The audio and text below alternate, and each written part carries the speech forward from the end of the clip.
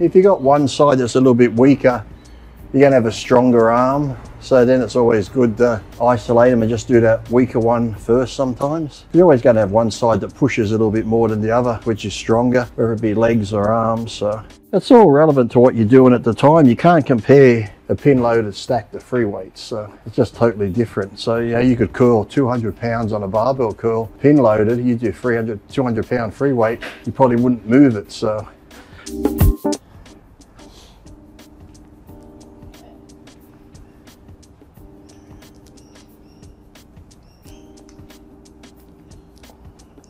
Now that machine is not actually designed to do pec flies. that actually works. yeah, just to, I've done on these, yeah, because it's on your arms a bit, but you can still do it. Most pec decks and that or cable flies are wider, but you can still do it. Just because it's close together at the top, you can still do a fly movement. Don't be put off. it's okay, people. And then once once you've done that, once you once you're warmed up, then you can bring it down to do your standing presses if you want like this. But of course you can do them standing like this. You could also bring a bench over and you could do bench presses with the cables as well. Inclined flat any pressing movement even if you put it all the way to the ground you could sit there and do shoulder presses with it.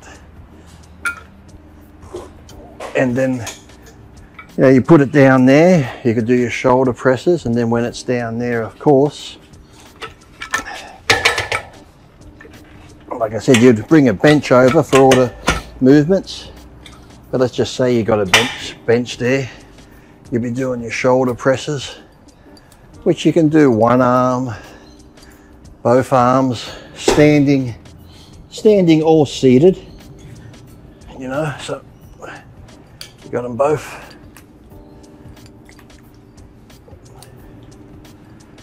now that was one question I was going to ask you. Have When- you noticed? Have you noticed how much traction the Arnold shoulder press one? Yeah. but then too, while you're here, you can do your laterals. Now with with isolation exercises, Yes. would your preference be to do them two-handed, one-handed, Uh, or no preference at all? I've always done both. I prefer two, but if you've got one side that's a little bit weaker, you're going to have a stronger arm. So then it's always good to isolate them and just do that weaker one first sometimes. You're always going to have one side that pushes a little bit more than the other, which is stronger, whether it be legs or arms. So, so you can do your laterals here like this, and then when you finish your laterals, if you lowered it all the way down, then you could do your shrugs and then you can do your upright rows. So many things to do. So you can do your shrugs, your upright rows, your presses, and then when you take it down more, plus two, you don't have to have these handles, you can put a bar on it. Once you've done that, you can do biceps. So you can do single arm, do them both together, or put an attachment bar on and do barbell curls. And then wider bars on there, you can do barbell rows. You could do like together, you could put a handle on it or you can just use the single handles and do, you know, rows from down low. You can do rows from up high, rows from just in front of you with the single handed ones. You know, you could have a thing here and just do the one arm like a dumbbell, but you're using the cable. It's almost like Chuck Norris's machine. You can do everything on it. So this, this, as I said, this machine is just designed for one handle use at a time. You can see how the Yeah. the pulleys are, are angled, but Yeah. but we we use But the like I said, you can we use you can to, either put a bar on, or you can do like you know you clip them together. but, but but we use it two handed, and we we don't notice anything. But No. can can you notice anything? No, feels good both ways. Because like this is one of our most used machine by uh, by Well, like I said, it doesn't take up any room, and like I said, the variety of exercises you can do on it. Like I said, you can clip them together, so you pull as one. You know what I mean? Yep. But you know, doing them singly is good because you get a better squeeze. Doing them like isolateral type. But there's so many things you can do. Arms, shoulders, chest, triceps. Well, one one. One one critic. Well, Who's criticising? no. Well, people before they buy it, Oh, they I think the the weight stack's now are 50 kilos. Th- Yeah. This this one's not 50 kilos. uh huh. Um, do you, I know you're not in peak physical condition. Mhm. Would that be enough weight for you, considering you've For a cable movement, yeah. You can get, it, like I said, that's only little. Well, I've only got it on what three plates there. If I was to go lower, like down there, like that there, I've still got what one, two, three, four, five, six plates to go to the Yeah. bottom.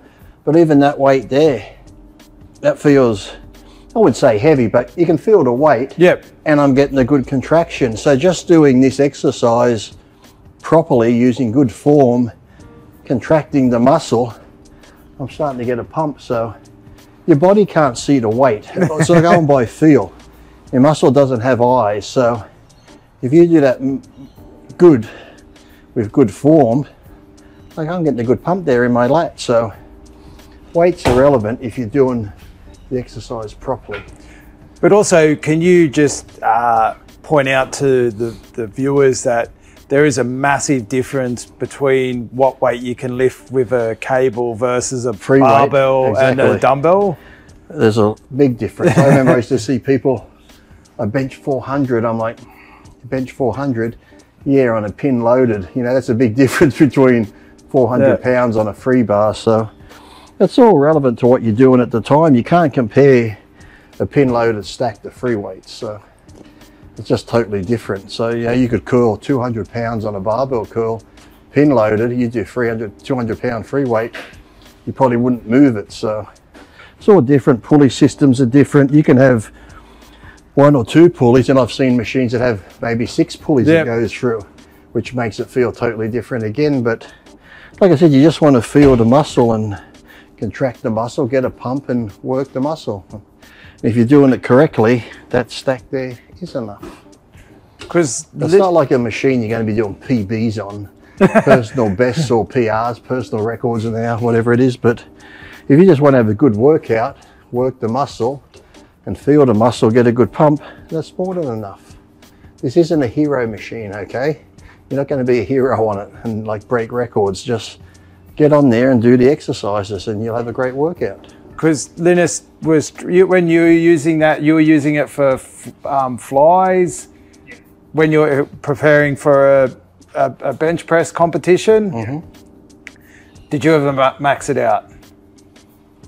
I try to, but the thing is, it's um because it's cable, your stabilizers tend to give out. Yeah. If you did heavy bench press and then you want to do cable flies, you're, you won't be able to stabilize your weight. Muscle can't take it, but your Mm-hmm. hands are gonna be wobbly. Yeah. So Yeah, do you- do your heavy work on the barbell and the dumbbell, and then you come over here and you these are good like the finish on or like I said, but even if this is all you had if you warm up and just slowly go down you can still get a great workout. That's why you don't have to be oh got to go free weights and break records.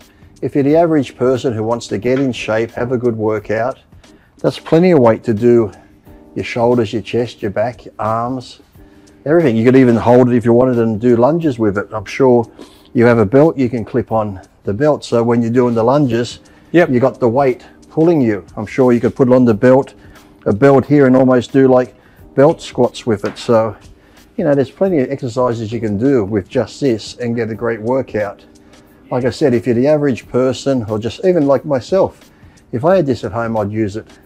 But like I said, I would have done free weight movements first yeah. and then do this. But then then there's days I don't want to do free weights. I could do the whole workout on here and get a great workout by getting a great pump. You're going to get the lactic acid build up and you can have a great workout by doing the movements correctly and really focusing on the muscles you're working. So anyone that says that isn't really into training. They're just like ego lifters for the gram.